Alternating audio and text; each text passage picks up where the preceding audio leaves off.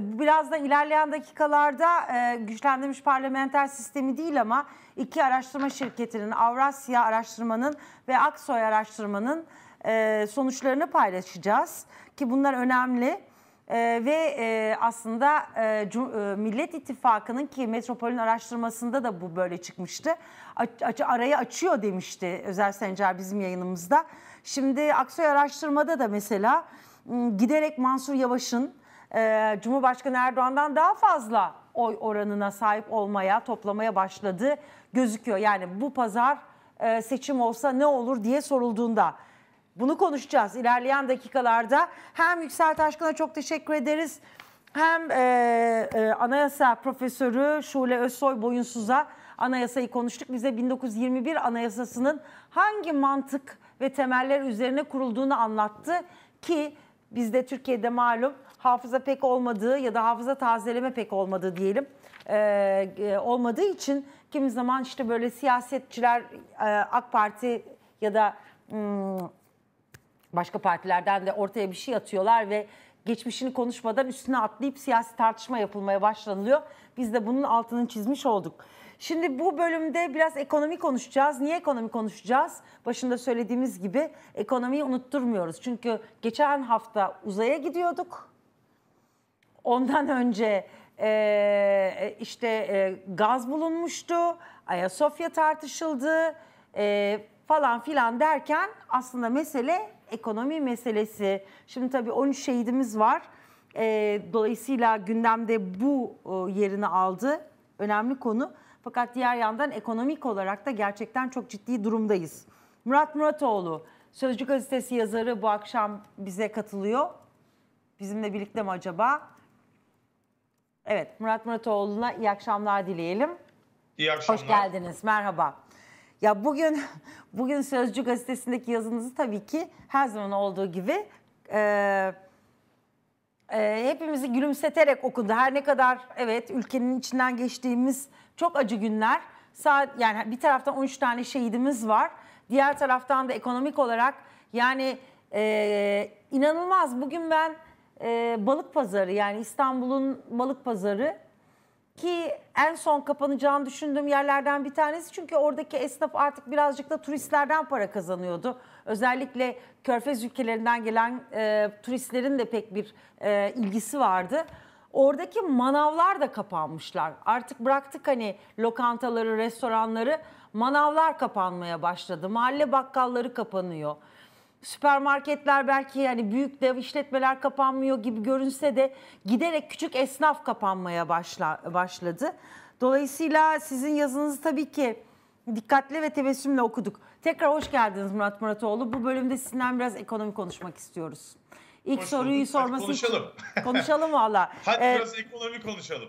Biraz ek- aslında ekonomiyi her gün konuşalım. Zaten Yani. bütün araştırmalar gösteriyor ki ekonomi berbat durumda olduğu için diğer konuları iktidar ısıtıp ısıtıp önümüze getiriyor ve onları konuşturmak zorunda e, konuşturtmaya çalışıyor ve biz de konuşuyoruz kimi zaman.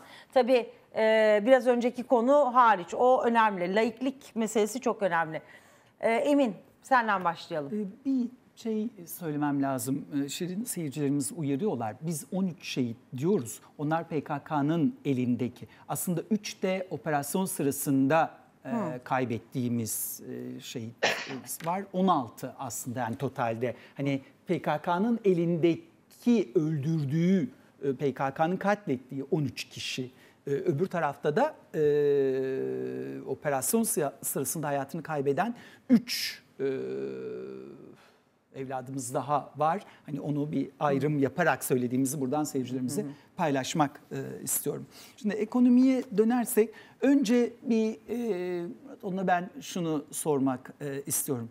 İktidarın bu sıkışmışlığı hani e, ekonomi konuşamaması, sokakta vatandaşla ekonomi konuşamaması, o eskiden gördüğümüz Türkiye'yi 3 bin dolardan aldık 12 bin dolara getirdiklerin bitmesi, e, bütün bu durumun bu hukuk reformu yok işte efendim şu bu falan bütün bunları aya gitmeler falan bütün bunları sen de diğer insanlar gibi bu sıkışmışlığa mı e, bağlıyorsun? Oradan bir devam edeceğim.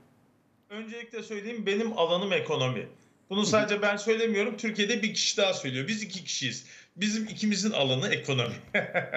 Ve e, şunu açıkça söyleyeyim ki 12.500 dolardan Emin Bey'in dediği gibi işte 2013 yılında oraya kadar geldik. Şu anda işte 7.500-8.000 dolarlara düştük. Ama bu tamamen bir illüzyon. Niye?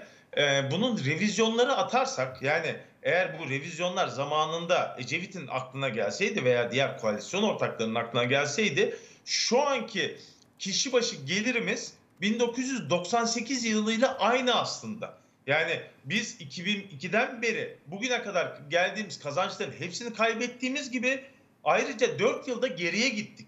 Yani 1998 yılının geliriyle yaşıyor ülke. E şimdi bir bakıyoruz Amerika'da da bir enflasyon var. Yani dolar bazında tamam belki belirli rakamlara geldik ama Amerika'da da enflasyon %20'lerin üzerinde. Nitekim bu Avrasya Tüneli anlaşmasını yaparlarken de adamlar cin tabii. Diyor ki ya biz sizle 20-30 yıllık anlaşma yapıyoruz. Amerika'da da enflasyon var. Biz bunun aynısını almayalım. Karşılığında 10 yıllık da Amerikan enflasyonunu koyalım diyoruz. E sonra diğer ülkelere bakıyoruz.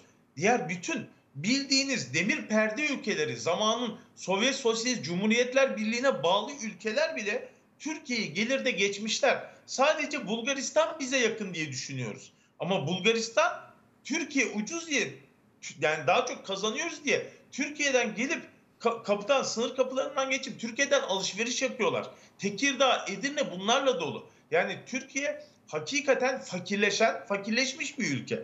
E, şimdi ekonomi alanında konuyu açsak konuyu nereye bağlayabilirler ki? Hiçbir yere bağlayamıyorlar. İşte şu anda ellerindeki tek koz e, doların 7 liranın altına inmesi. Ama ekonomi farklı bir olgu, piyasalar farklı bir olgu. Türkiye'ye 25 milyar dolara yakın para girdi. Yani son 3,5 ayda. Ve bu 25 milyar dolar boşu boşuna girmedi. Yani faizler %17 diye girdi resmi faizler. Ve %17 denildiğinde ilk başta yine girmedi. Sonra Merkez Bankası Başkanı çıktı. Kendini teminat olarak ortaya koydu. Bunun teminatı benim. Bu faizler düşmeyecek dedi. Şimdi çünkü faizlerin ani düşmesi ve düşürülmesi dövizi hızla yukarı çıkartır ki bu Türkiye'ye para getirenler için iyi değildir. Bu yüzden zarar edebilirler ama dünyaya bakıyorsunuz 20 trilyon dolar para eksi faizde veya sıfır faizde 20 trilyon ve Türkiye'ye gire gire bunun 25 milyar doları giriyor. O da Türkiye'nin içine girmiyor. Londra'dan veya İsviçre'den swap yoluyla giriyor. Swap dediğimiz para değişimi. Bugünlük paranı değiştiriyorsun. Bir hafta valörlü, bir ay valörlü, üç ay valörlü neyse. Ve ani şekilde bunu tekrar 10 dakika içinde geriye döndürebilir halde sokuyorsun. Hı. Şimdi adamlar geliyor Türkiye'ye %17 faize koyuyor parasını.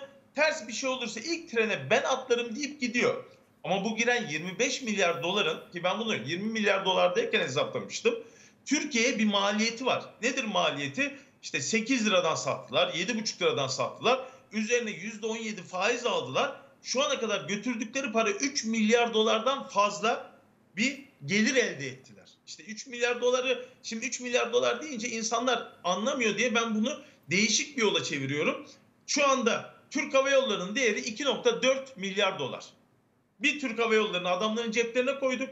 Üzerine de 600 milyon dolar ceplerine koyduk diye hesaplıyorum. İnsanlar anlasın diye. Hani Türkiye'nin gururu vay Türk Hava Yolları uçtu bilmem kaç yüz uçak var ya. Heh biz onu faize verdik. Ana parayı konuşmuyorum. 3,5 ayda 4 ayda. Yani Türkiye'ye 7 liranın altına inmesindeki sebep hataların bize bedeli bir Türk Hava Yolları'nın üzerine 600 milyon dolar. 600 milyon dolara 200 milyon dolar daha koy zaten Avrasya Tüneli'ni yapıyorsun. 850 milyon dolar onun maliyeti. Üzerine de işte onlar finansal giderleri koyuyorlar.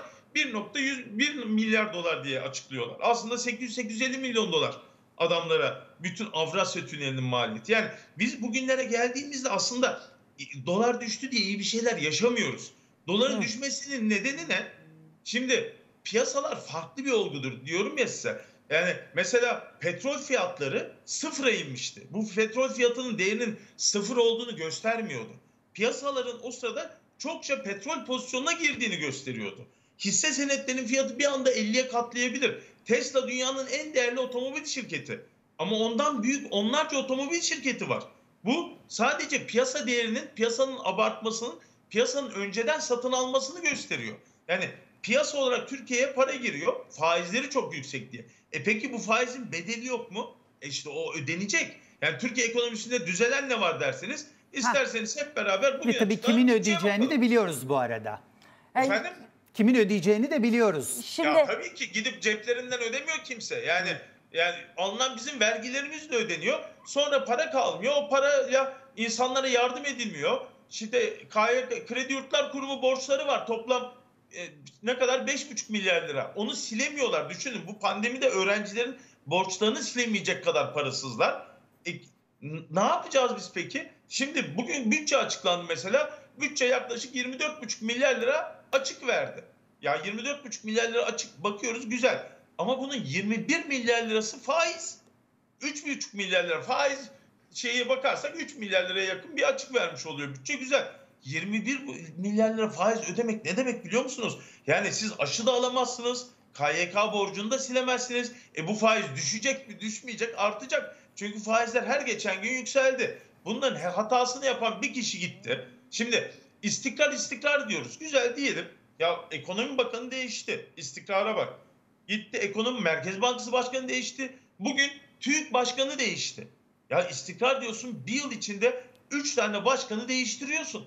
E şimdi bu değişenler ne yapacaklar? Kendi hür iradeleriyle mi devam edecekler? Yine saraydan emir mi alacaklar? Bakın bu saadet fazla sürmez. Yani 18 yıl boyunca gördük. Bu saadet fazla hiçbir zaman sürmedi. Ali Babacan'a ki o zaman güçlü yılları da yedirmediler. Mali kural koyacağım dedi Ali Babacan zamanında. Türkiye artık mali kuralla yönetilecek dedi. E, Şey kanun tasarısı geçmedi. İki gün kala iptal edildi. Ya niye iptal ettin diye sordular. İşte e, Binali Yıldırım ki o zaman Ulaştırma Bakanı'ydı. Binali Bey bunu kabul etmedi dedi. Niye? İhaleleri veremeyecekti.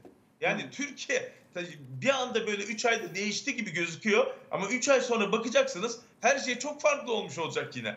Yani dış mihraklar yaratılmış olacak. İşte Amerika zaten Türkiye gözün üzerinde kaş var diye ceza kesmeye hazırlanıyor. Avrupa Birliği NATO toplantısı S-400'ler derken bambaşka göreceksiniz 3 ay sonra yine ekonomik düzleme gireceğiz. Yine suçlu dış mihraklar olacak. Yani Şimdi- burası Türkiye. Hepimiz biraz tanıdık. şimdi Murat